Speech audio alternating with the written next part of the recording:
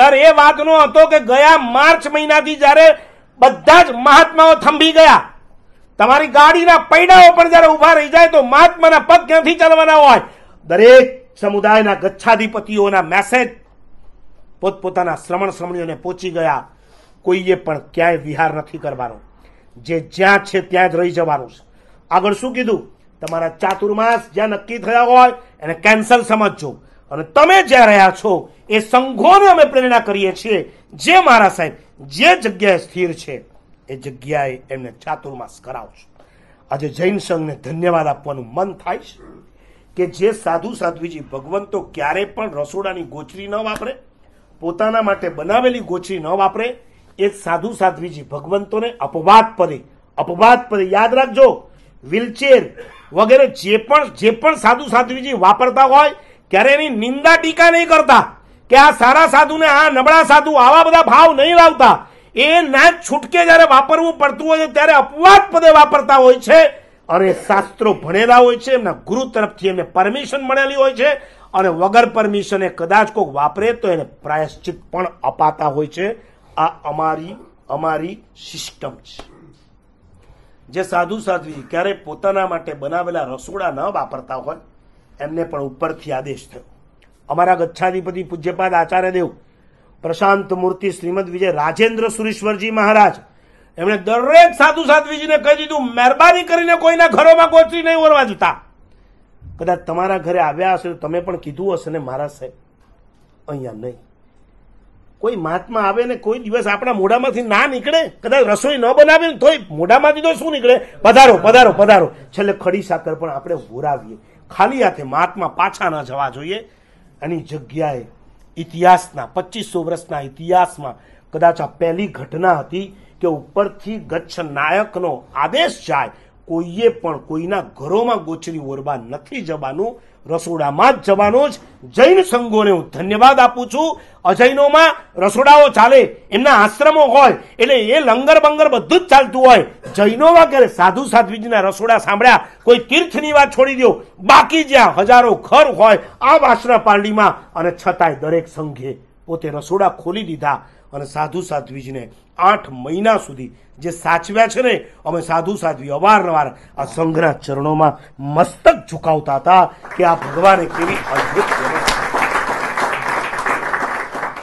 આ પ્રભુએ કેવી અદ્ભુત વ્યવસ્થા શ્રી સંઘની કરી આપી છે, જેથી સંઘ આ પંદર હજાર ચારે ફિરકાના મળીને પંદરથી સત્તર હજાર સાધુ સાધ્વીઓને સંભાળી લીધા છે. નવ નવ, દસ દસ ને બાર બાર મહિના સુધી. તમામ સાધુ સાધ્વીજીઓને આ રીતના સંભાળવાનું કામ થયું, આ સંઘનો એક અદ્ભુત પ્રભાવ છે. એની સામે વિહાર બંધ થઈ ગયા. રોજ રાત પડે અને ચિંતા થાય. જે એક્ટિવિટીને બંધ પડ્યા ને લાંબો સમય જાય ને, પછી એક્ટિવિટીને શરૂ કરતા દમ નીકળી જાય તમારા ઘરની અંદર ખૂણામાં તમે કબાટ મૂક્યો હોય, છ મહિના સુધી ના હલાવો ને, તો એ કબાટને પણ શું લાગી જાય? જંક લાગી જાય. કબાટને જંક લાગી જાય, આપણા પગને પણ એક જંક લાગી જાય. નહીં, હવે નથી ચાલવું. અમને યાદ છે, ગિરનાર અમે પહેલી વખત ચડ્યા હતા ને? હિમાંશુ સુરી દાદાની નિશ્રામાં છે અને ઉતર્યા ત્યારે તો ગોટલા આવા બાજી ગયા. હતા સુઈ ગયા લાંબા થઈને. હિમાંશુ દાદા પાટ ઉપર એની આજુબાજુ અમે બધા મહાત્મા સુઈ ગયા. સાહેબ, આપે કેવી રીતે નવાણું કરી? આપે વીસ વીસ ઉપવાસ કરીને કેવી રીતના જાત્રા કરી? અમારે તો એકમાં. કઈ દવા? સાહેબે કીધું, હા, દવા. કઈ?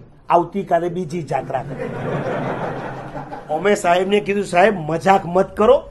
આ અહીંયા ગોટલા ચાલે એમ જ નથી કે આ જ દવા છે. આ જ દવા છે. ગોટલા ઉતારવા માટે આજે ગોટલા ચડાવવાના. કાલે ચડશો તો એ ગોટલા ઉતરશે. અને લિટરલી અમે બીજા દિવસે ગયા. ઉતરતી વખતે આમ જાણે હવામાં ઉડતા હોઈએ ને, એવી રીતના નીચે ઉતર્યા. અમે સાહેબના ચરણોમાં મસ્તક ઝુકાવ્યું કે, મહારાજ આપે કમાલની દવા બતાવી.